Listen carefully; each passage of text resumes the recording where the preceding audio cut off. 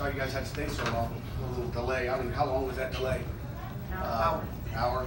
Um, but uh, you know, uh, this football team and, that, and those uh, throwback jerseys in there, they got character. Um, you know, they had their backs against the wall. Um, you know, everybody talking about who they are. Uh, we talked about who we are. We know who we are. Okay. Um, you know, we know what the schedule looks like. We know who we played. We know who we lost to. We know what we did or didn't do to win or lose a football game. And and I couldn't be prouder of that locker room in there. Those guys, they fought and fought and fought. We're down 14 points. Okay, we you know start off, and I'm sure everybody's going, oh, here we go again. But our guys continue to believe. Okay, and that talks about character right there. That's character. Um, and then we're up, and then we're down, we're back and forth. But there were some big plays in there. You talk about, you know, those two tailbacks, Qadree and Darrin Hall. I mean, we got two-headed monster back there. Those guys were unbelievable. You know, Dane Jackson, Quintin Wirginis strip. Dane Jackson scoops and scores. You know, um, uh, Amir Watts with an interception, dropping off as a D tackle, execution.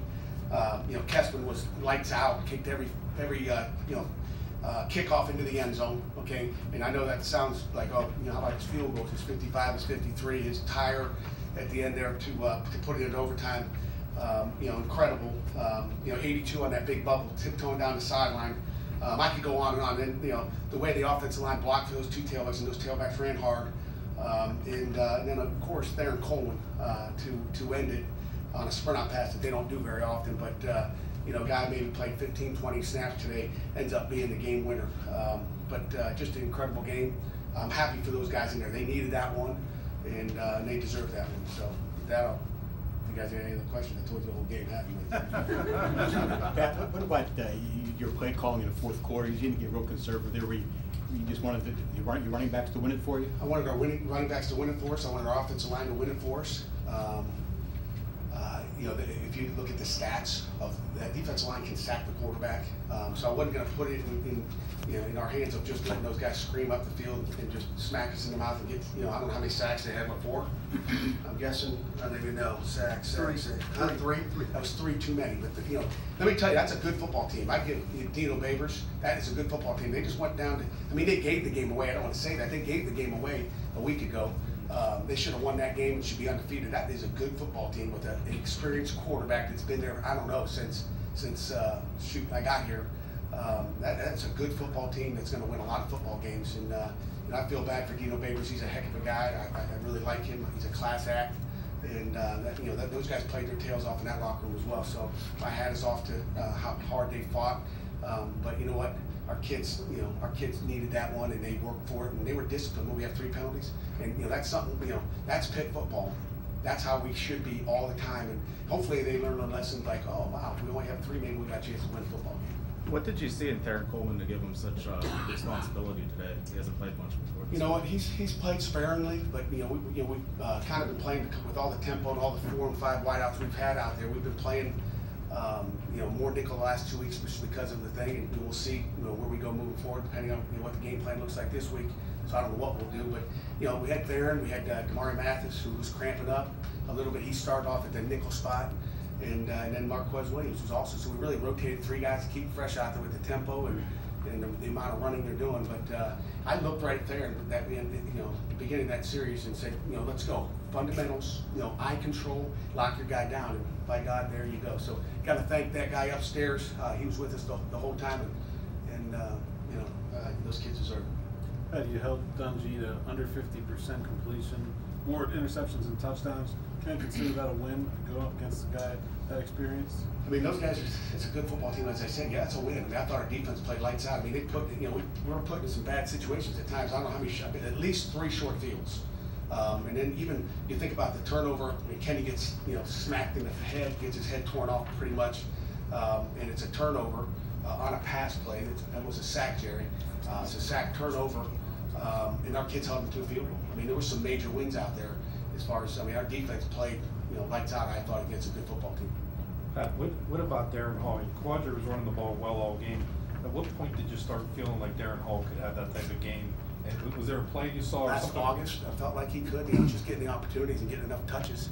Um, you know, Darrin Hall's a great tailback too. Well, what I'm what I'm saying is you, you you were riding Qadree the whole way.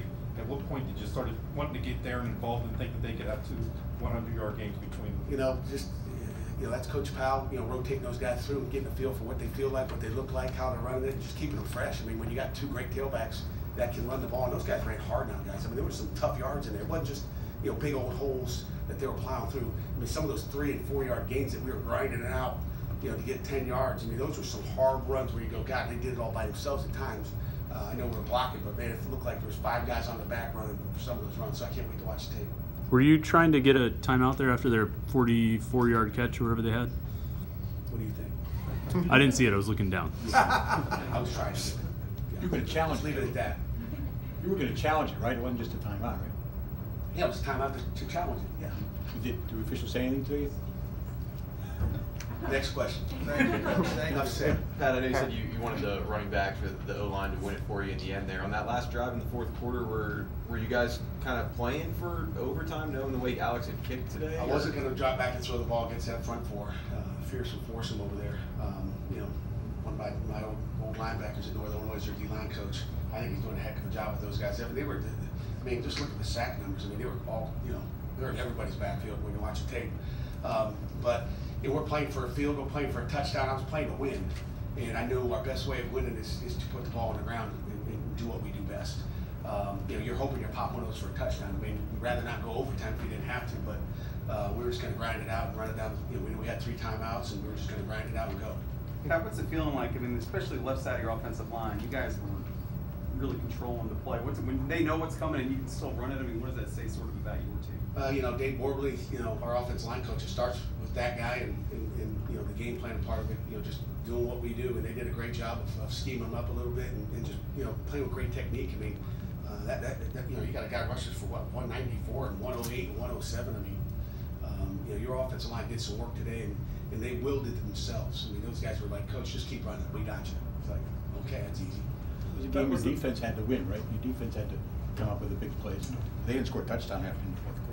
Yeah, I didn't know that, but our defense played, you know, like I said, defense played good, Jerry. Um, you know, they, they, uh, they played well and then, you know, to finish it off on, you know, P and ten, um, you know, the twenty-five yard line, go overtime and get a pick, I mean, come on, it's unbelievable. Was the Wildcat something that you saw on film that you thought you could use against them, or did you just kind of try it once and then it worked and you went back to it? Um, a little bit of both. I mean, we thought we, you know, we, we have it in every week.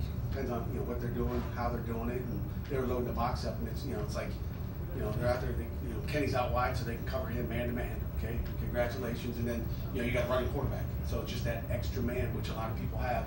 You know, with a you know quarterback that can run like that, um, and you know Darrin Hall and Qadree are our quarterbacks. And it all comes down to just numbers in the box. Talk about Kenny's performance today, the quarterback. You know, what did you like about? it? You know, um, you know, I thought Kenny played solid. He got to the right. You know, there's a lot of, you know, it's not just like turn to the right and hand it off, or turn to the left and hand it off. There's a lot of checks that go on based on the safeties that are rolling and what they're doing, you know, coverage wise.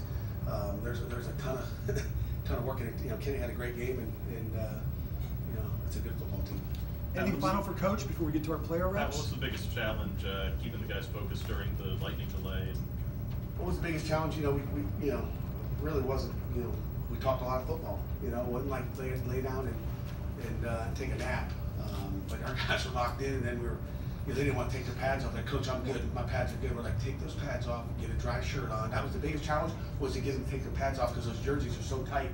Uh, that was the biggest challenge. Was getting the jerseys back on. It was a team effort. We had everybody pulling jerseys down. Craig, you got the last one. Yeah, Pat, uh, you know, when you see Darrin and Qadree ha- uh, have the kind of days they did uh, today, how much does that potentially change your all's offensive philosophy moving forward? You, do you foresee yourselves like focusing and relying like on Georgia them Tech or something like that. Run Maybe not quite pass to it that 12 yards. but- No, I mean, we're gonna do what they're giving us, and, you know, I don't know if they even gave us the run today, but we will the run. Um, but we, you know, that was a tough football team to throw. You know, it all depends on who we're playing and what we think up front and, and, you know, what, what we, uh, what we can do. Okay. Coach, thank you very much. Thanks.